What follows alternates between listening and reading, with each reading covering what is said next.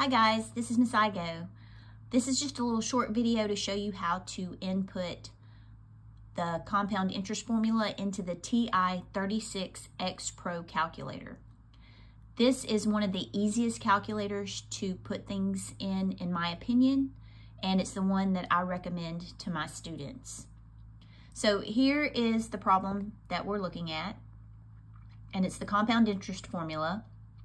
So we are going to be figuring the interest, the compound interest on $500 with an interest rate of 5% compounded quarterly over 10 years. So to put this into the calculator, it's very straightforward. And we put in our 500. And then to open our parentheses, here's our parentheses. So we're gonna open our parentheses and then do one plus. Now we have a fraction. We have the 5% changed to a decimal, which is 0.05 or 5 hundredths.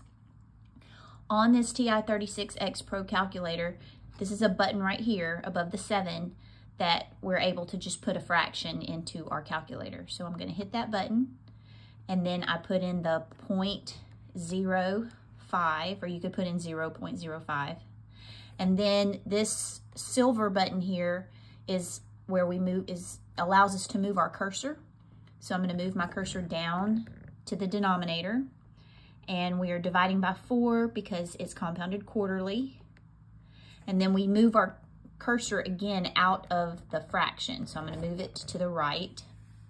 And then we close our parenthesis. Now we need to raise it to a power. So we're raising it to the 10 times 4 power. So you could go ahead and just multiply that in your head and say 40. But I'm going to show you that it's easy with this calculator just to put in what we have on our paper. So this button right here, this one right here, it's got an X and then there's a little box that's showing um, our exponent. And so we're going to press that button and you see how it raises our cursor up into the exponent position.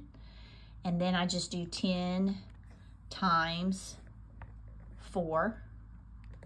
And so now it's all put into my calculator. It looks pretty much the same as it does on the paper. And then I hit enter and that gives me my result, which is $821. And then if we round to the nearest cent, it would be 81 cents. And that's how we use the TI-36X Pro calculator. Thank you for watching.